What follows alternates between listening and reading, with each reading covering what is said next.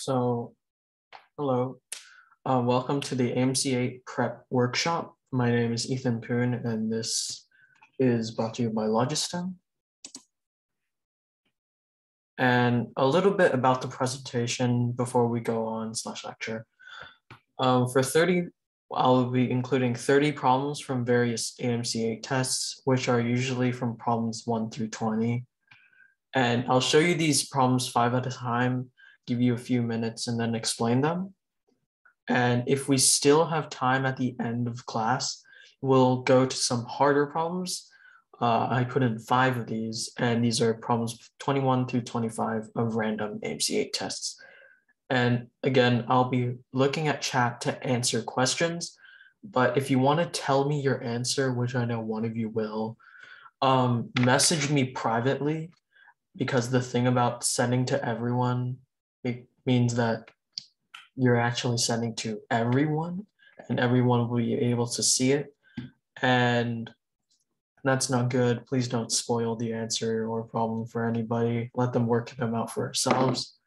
And if you guys got all that, then we'll be good. So here's the first set of five problems. I'll let you guys work on it for a few minutes and then I'll go over them. You can ask me in the chat if you have any questions.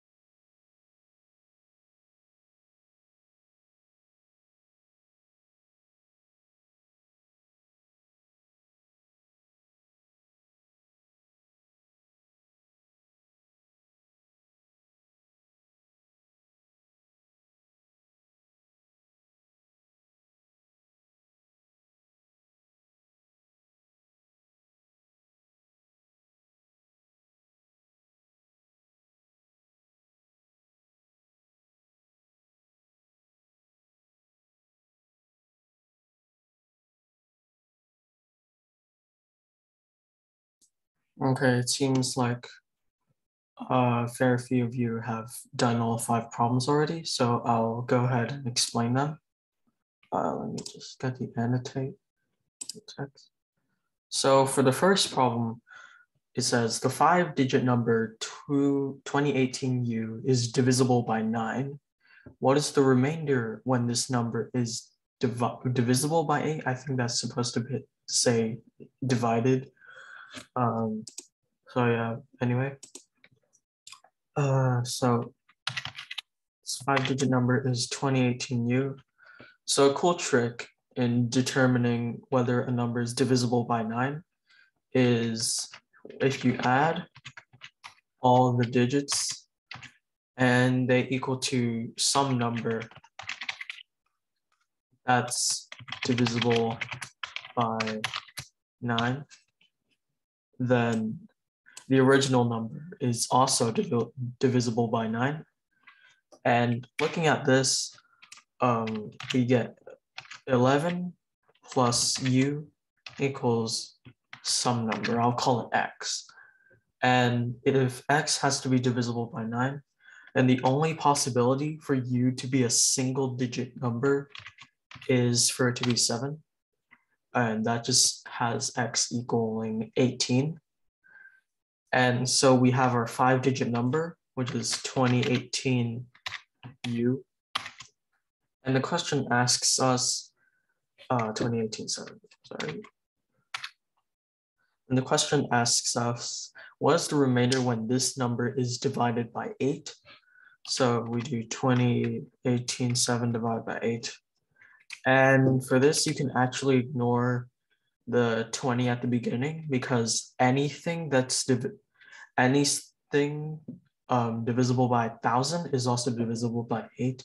So what remains is 187 and 187 divided by 8 gives you a remainder of 3. Is it? Yeah, I think it's 3. Uh, so that answer choice is B, and it's number 1. Moving on to number 2. Number two says the harmonic mean of a set of non-zero numbers is the reciprocal of the average of the reciprocals of the numbers. What is the harmonic mean of one, two, and four? Okay, so for this, we're gonna have to find the average of the reciprocals of the numbers first. So the reciprocals are one over one, one over two, and one over four. You add them together, you get seven over four. And we're calculating the, the average. So seven over four divided by three uh, equals seven over 12. And the reciprocal of that is one seven over 12. And the reciprocal of that is 12 over seven. And that is answer choice C.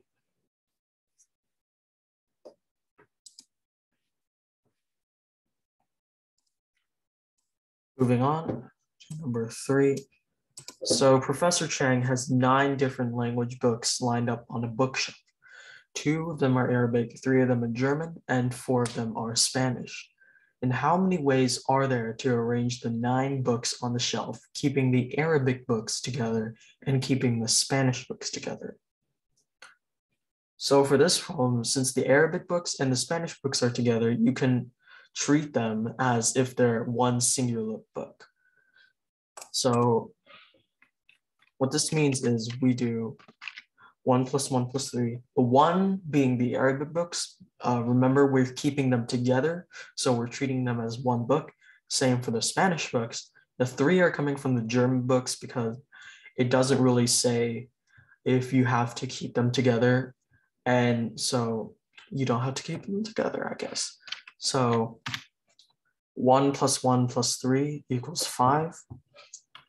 And five, and that gives us five factorial, which is just a fancy way of saying five times three, four times three times two times one.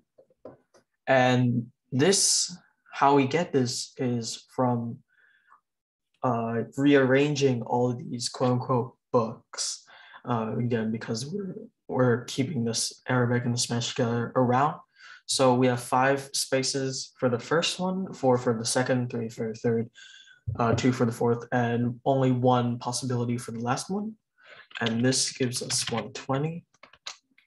But remember, we still have those Arabic and Spanish books right next to each other, and you can switch them around. For example, for the Arabic, you can have Arabic book one and Arabic book two, and then Arabic book two and then Arabic book one, and they'd still be the same if you don't multiply as we're going to do right now. So for the Arabic, we're doing two factorial, and the German, and I mean Spanish, we're doing four factorial for the exact same re reason. And so four, four for the first, three to, for the second, two for the third, and then one for the last one, and then same with two factorial. And so one, this says 120 times two times 24. And calculating this should give us five, seven, 57, 60 possibilities, which is answer choice C.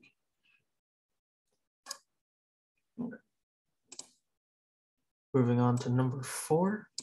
When Clara totaled her scores, she inadvertently reversed the units digit and tens digit of one score.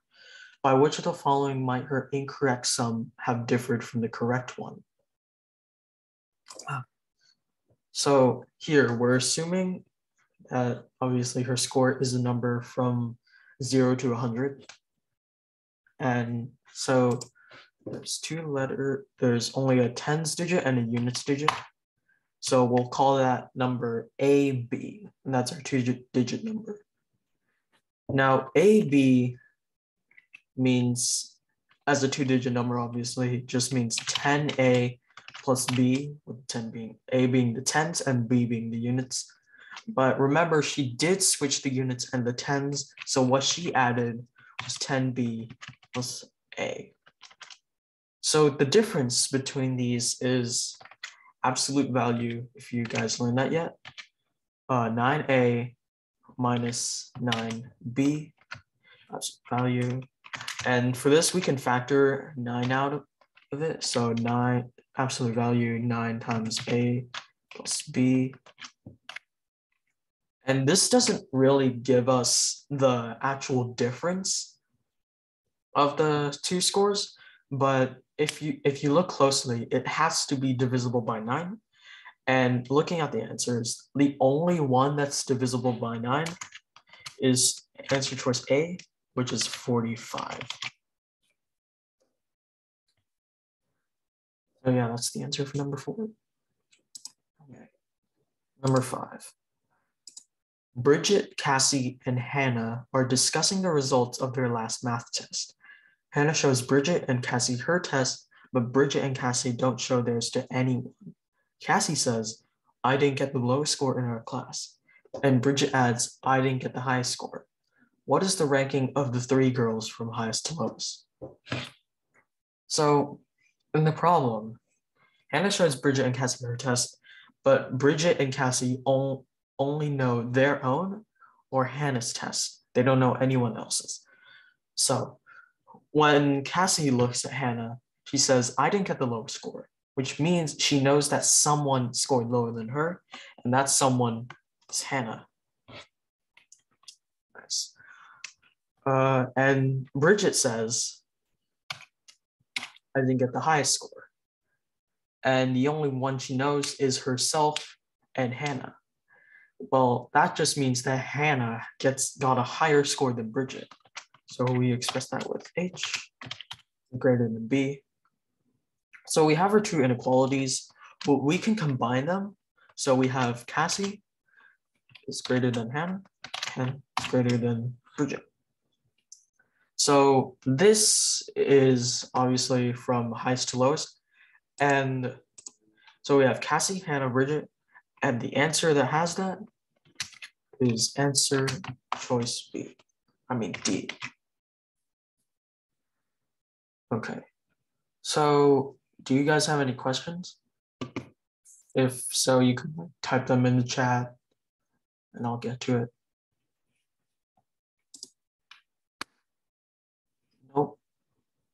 Okay. Moving on to the next set. Uh, so here are five more problems and I'll give you a few moments to work on them. And again, if you have any questions, just ask me in the chat. That's it.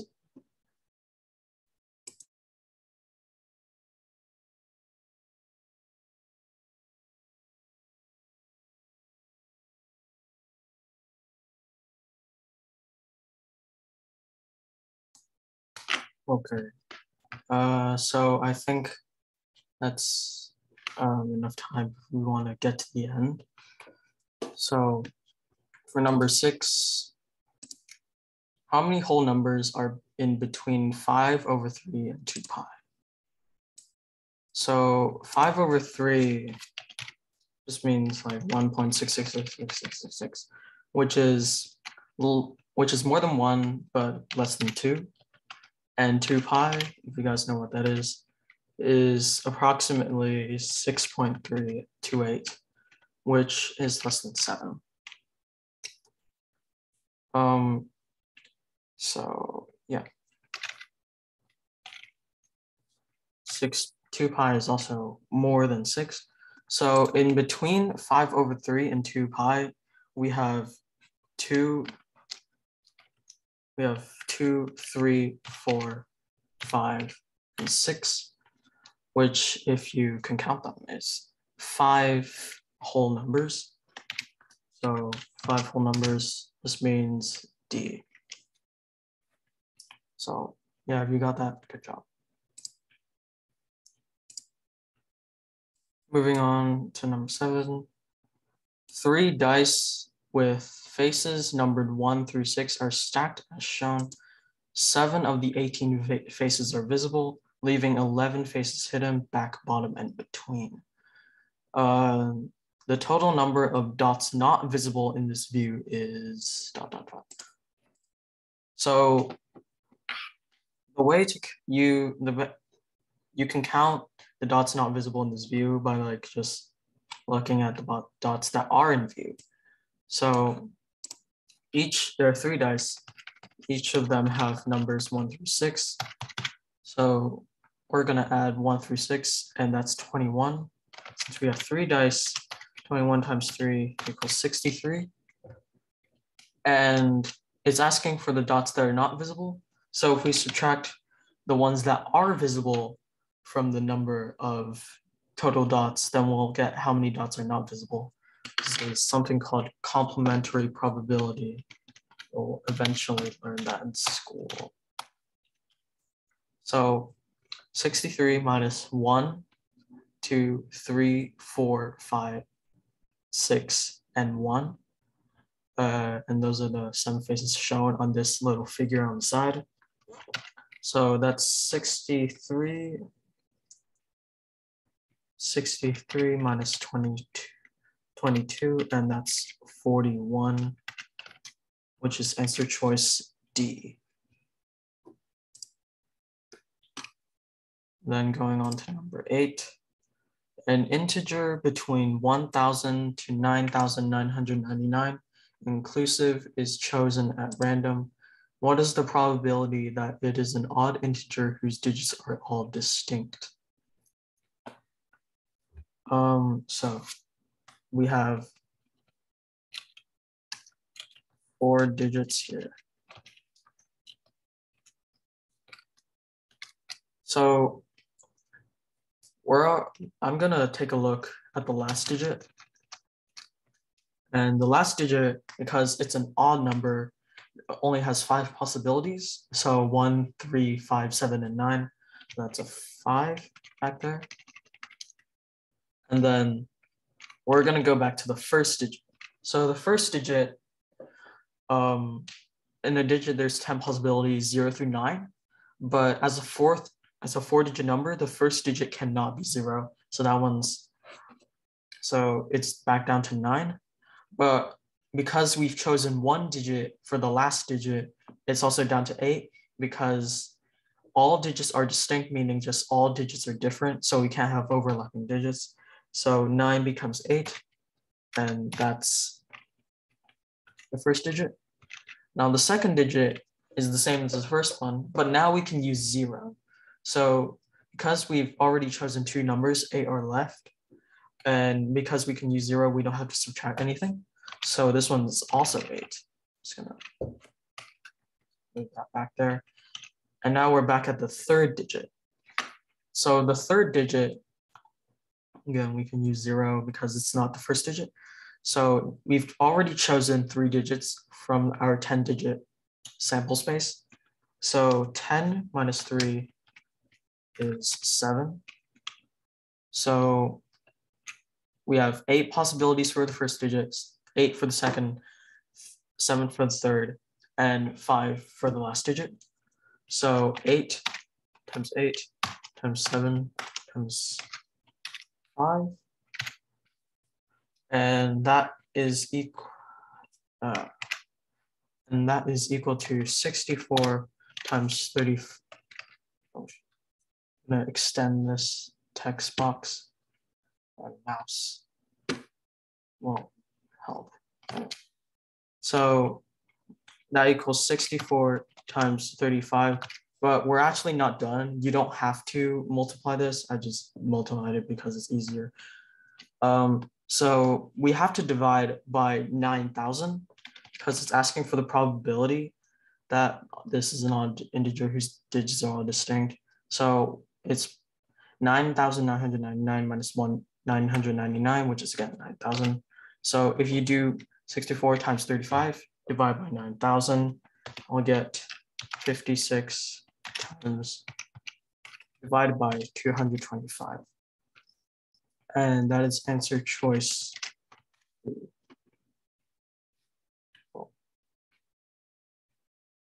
Clear. And then moving on. So number nine, Alicia, Brenda, and Colby were the candidates of a, in a recent election for student gamer president. I don't know where that gamer came in. but yeah, the pie chart below shows how the votes were distributed among the three candidates. If Brenda received 36, 36 votes, then how many votes were cast all together? So 2017, number two. So Brenda received 36 votes, and this chart down here says 36 votes is also 30% of the total, which we'll call X. So 30% X equals 30, 30% X equals 36. So if you divide by three and multiply by 10, you get the actual X, which is 120. So we have 120 total votes. And yeah, that's the answer. So that's answer choice E. Then number 10, a square shaped floor is covered with congruent square tiles. If the total number of tiles that lie on the two diagonals is 37, how many tiles that cover the floor? So we know that the number of squares on the side, the side length is odd because if you've uh, ever looked at a chessboard you guys play chess or anything, it's an eight by eight. It's an eight by eight uh, square, and the diagonals, the long diagonals, don't overlap, and that's even. So it's even because a number multiplied by two is always even. But in this one, the two diagonals is 37, which is not an even number. So they do have an overlapping square. So that just makes that the side length is odd.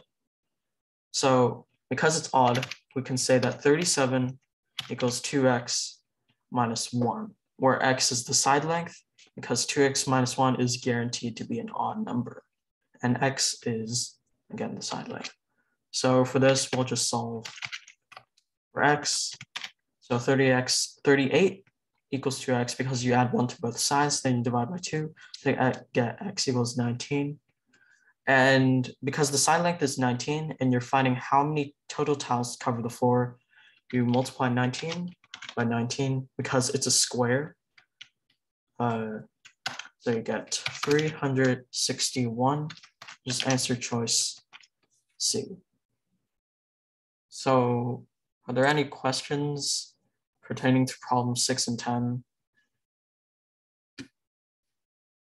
No? Okay.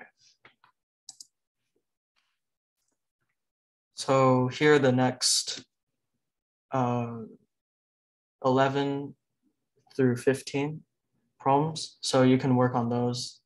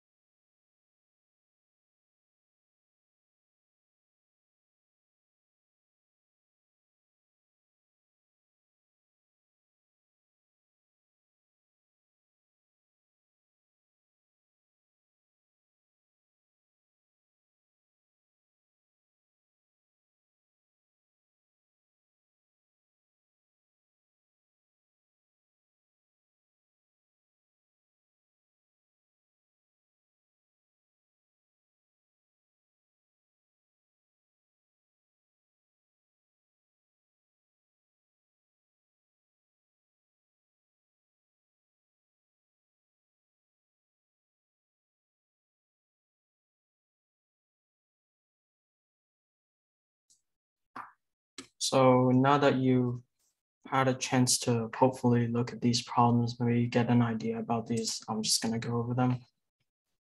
Annotate, so. Number 11, Jeremy's father drives him to school in rush hour traffic in 20 minutes. Well, one day there's no traffic, so his father can drive him 18 miles per hour faster than usual and get him to school in 12 minutes. How far in miles is it to school? So if you've learned this in science, uh, then you'll say that distance equals rate times time, where rate is measured in hours and time is measured in uh, miles per hour, kilometers per hour, whatever. And for the first one, he drives him to school in 20 minutes. So time equals one over three hours. So it's D equals R over three. In the next equation, we have one day there's no traffic and his father drives him to school 18 miles per hour faster. So R plus 18 and gets him to school in 12 minutes, which is one fifth of an hour. So we divide by five. So with these two equations at the bottom, not the one at the top, you'll see that they're both equal. So R over three equals r plus 18 over 5. And doing this, we subtract r over 5 from both sides and you get 2, 2r over 15 equals 18 over 5 and multiplying both sides by 15, you get 2r equals 54 and R equals 27. And we're not finding R, we're finding the distance. So because we're using the first equation, guess it's easier. D equals 27 over 3 because R equals 27, which is 9. So the distance is 9 miles. Just answer choice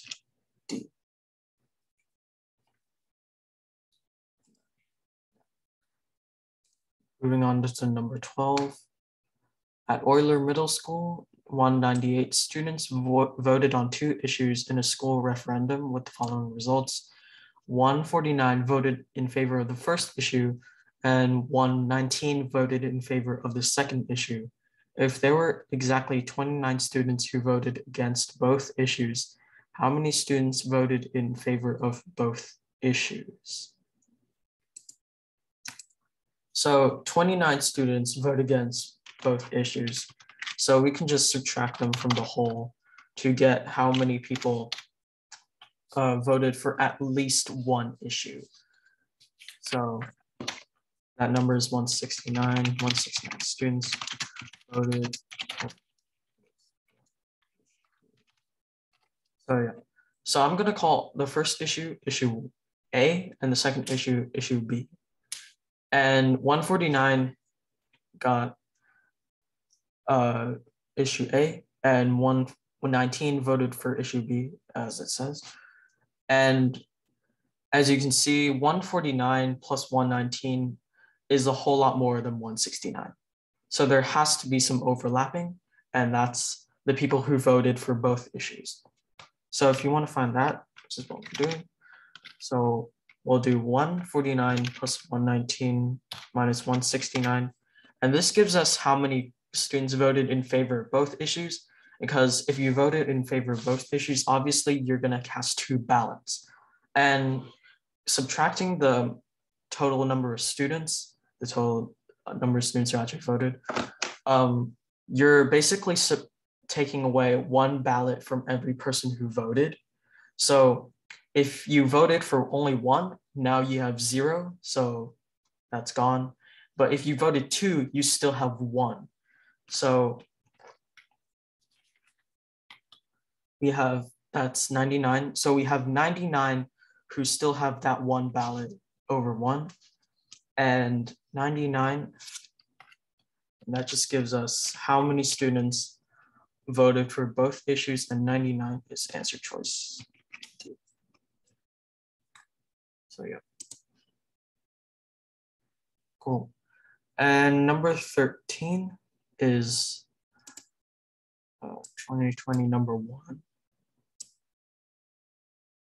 And Luka is making lemonade to sell at a school fundraiser. His recipe requires four times as much water as sugar and twice as much sugar as lemon juice. And he uses three cups of lemon juice. How many cups of water does he need? So here we're gonna wanna find a ratio of water to sugar to lemon juice. So he has twice as many, twice as much sugar as lemon juice. So we have one part lemon juice, we have two parts sugar, and he has four times as much water as sugar because we have two parts sugar, we now have eight parts water. So now our ratio is eight to two to one, and that's water to sugar to lemon juice. Now the problem says he has three cups of lemon juice. So we have three cups of lemon juice. We have to multiply everything by three to keep a consistent ratio. So eight times three is 24 and two times three, six, and one times three is three. And the question is asking how many cups of water does he need? Now remember, we assign the first value here, which is the eight, as water. So the first value here is also water. So the 24 is water and let's answer choice E. And number 14, which each of the points A, B, C, D, E, and F in the figure represent a different digit from one to six. Each of the five lines shown passes through some of these points. The digits along each line are added to produce five sums one for each line.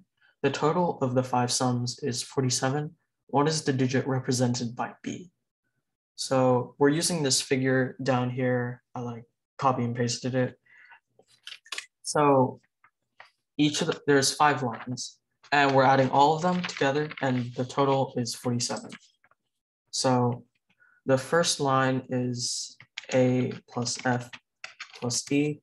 Second line is B plus D. And the third line is C plus D plus E.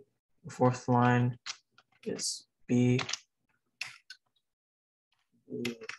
B plus F.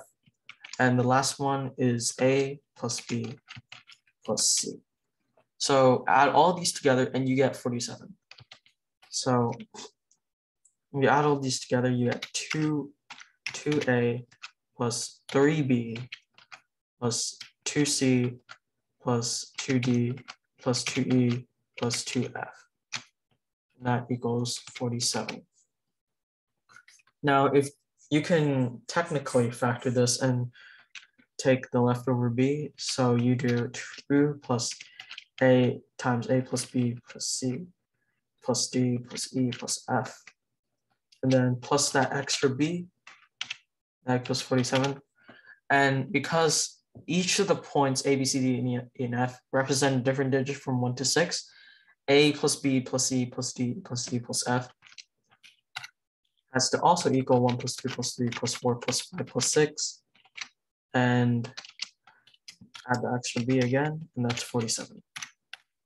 Now, from here, it's pretty simple to find b. So you just do 42 plus b equals 47, 47, and b equals 5, which is answer choice E.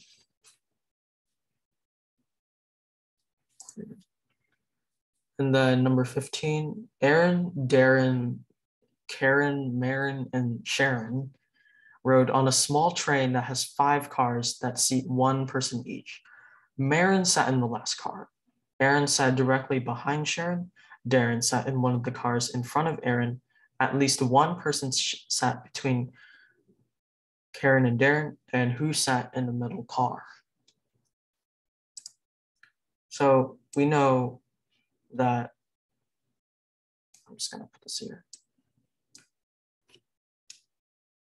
uh, Mar Maren uh, sat in the last car. So I'm just doing the last car for the first car. So this is from back to front. So in all of them, there's three possibilities here. All of the possibilities, Maren sat in the last car again. And Aaron sat directly behind Sharon. And Darren sat in one of the cars in front of Aaron. And so wait, no, double check this. Yep. A so one of them is there. And then AS, then AS. So in the first possibility, uh, Sharon sits at the front, and the second, Sharon sits in the second second to front, and in the third one, Sharon sits right in the middle. Um, so, yeah. So for the last one, we either have DK or KD, which is Karen and Darren. And this is impossible because uh, Darren sits in one of the cars in front of Aaron. But in the last one, it says one person sat between Karen and Darren. But if Karen and Darren are right next to each other, then there's nothing between them. That's the whole point of being next to each other. So that one's impossible. So for the second one, which is right in the middle here, uh, we have Aaron sitting in the middle seat and Sharon sitting in the next to front seat, which is the second one. And this one is possible because you can have uh, Darren sitting right in front and Karen sitting in the back. And yep, that works. And just to be sure, we're gonna check the first possibility. And the first possibility doesn't work because uh, Dar- it says Darren sat one of cars in front of Aaron, but the only person here in front of Aaron is Sharon. So there's no one there because there's only one spot in front of Aaron, and that's already taken. So this one's impossible. So the second one is possible. And looking here, the person who sits in the middle car is A, which is. That is answer choice A. So does that make sense? You guys can tell me in the chat.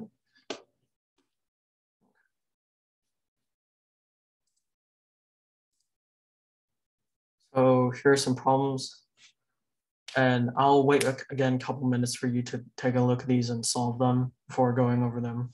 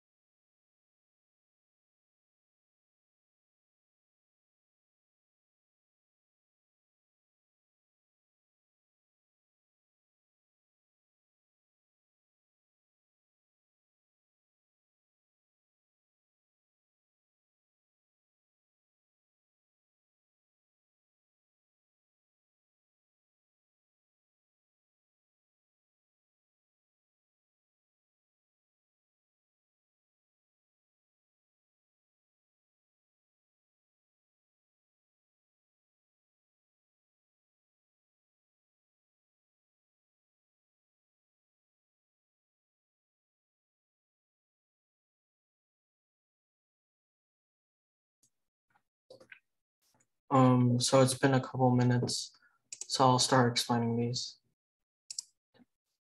So number 16, Julie is preparing a speech for her class. Her speech must last between one half hour and three quarters of an hour. The, uh, the ideal rate of speech is 150 words per minute. If Julie speaks at the ideal rate, which of the following number of words would be an appropriate length for her speech? So her speech uh, lasts between one half hour and three quarters of an hour, which is, wait, I want my mouse work, which is 30 minutes, minutes to 45 minutes. And with the ideal rate between 150 words per minute, so we can multiply 150 by 30. That gives us a lower bound for our ideal speech and 150 times 45 give us the upper limit of our speech capacity. So just say the number of words in our speech is X. And X is between 4,500 and 6,750. And looking at the answer choices, the only one that fits this is answer choice E, which is 5650. And that's number 16. For number 17, there is a set of five positive integers whose average slash mean is five, whose median is five, and whose only mode is eight. What is the difference between the largest and smallest integers in this set? So the average is five, and there's five positive integers.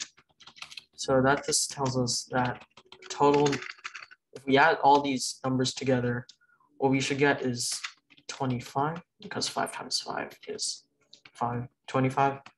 And the median means that the middle number here is five, and the only mode is eight.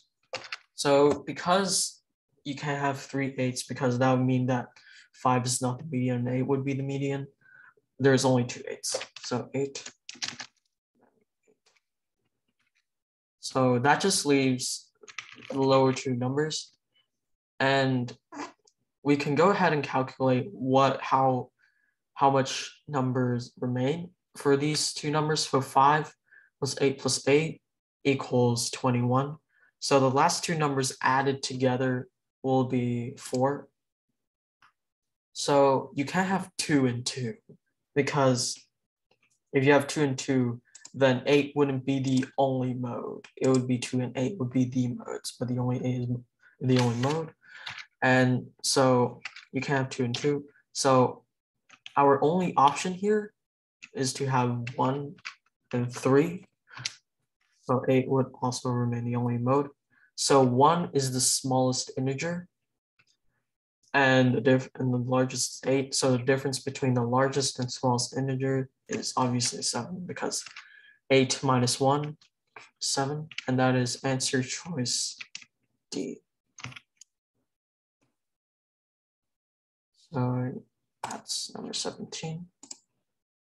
And at the grocery store last week, Small boxes of facial tissue were priced at four boxes for $5.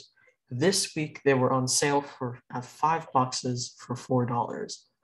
This percent increase, this percent decrease in the price per box during the sale was closest to so the best way to go about this problem is calculate how much one box costed. And for last week, one box would be five over four, which is a dollar and 25 cents.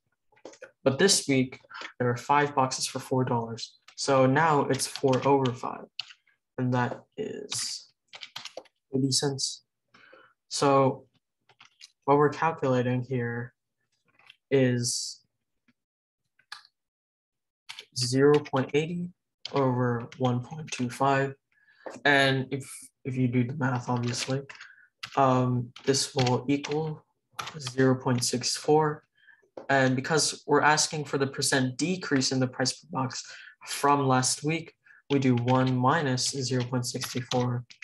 And that gives us 0.36. But if you look at the answers, 0.36 or 36% is not there. And it's asking during the sale was closest to, and if you look at the answer choices, one that 36 is closest to is 35%.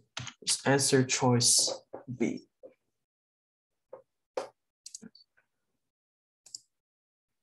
And then number seven, 19. Six pepperoni circles will exactly fit across the diameter of a 12 inch pizza when placed. If a total of 24 circles of pepperoni are placed on this pizza without overlap, what fraction of the pizza is covered by pepperoni? So six pepperoni circles fits on 12 inches. So one pepperoni circle fits in two inches. So the diameter of one pepperoni is two inches. So that just means the radius is one inch. It has radius, a radius is half the diameter. And 24 of these circles of pepperoni can be placed on this pizza without overlap. So we're gonna find the area of one pepperoni. So to do that, we do pi r squared.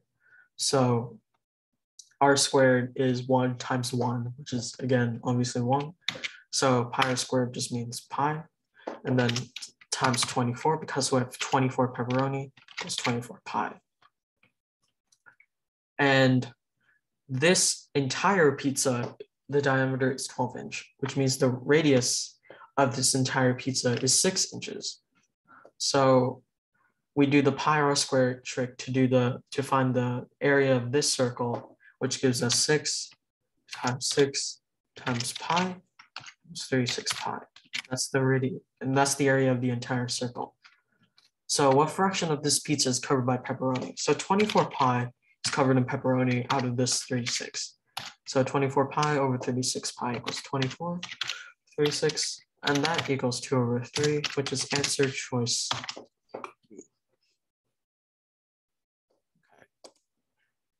And I think 20 would be our last problem today because we're nearing the end of our session.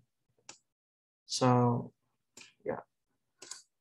Number 20, a jar contains five different colors of gumdrops. 30% are blue, 20% are brown, 15% are red, 10% are yellow, and the other 30 gumdrops are green. If half of the blue gumdrops are replaced with brown gumdrops, how many gumdrops will be brown? So we have 100% is our total, 100% is the total, and 30 are blue, minus 20 which are brown, 15 which are red, 10 with that are yellow. And if you subtract all those, uh, we should get 25. So 25. 25% of our entire jar of gumdrops, which I'll call X, is 30, and those are green. So X must equal 120. And it says if half of the blue gumdrops are replaced with gum, brown gumdrops, how many gumdrops will be brown? So let's find how many gumdrops are actually blue in the first place. So 30% X is 36. 20% X equals 24. So now half of 36 is now brown. So 36 over 2 plus the original 24, which are brown. And we get 18 is plus 24 equals 42. And that is answer choice C. Okay. So I think that's going to be it for today. We're not going to have enough time to go to the other problems. So thanks for coming. And this is my email if you want the other problems or you just want to ask anything. And yep, that's it. Thank you. Bye.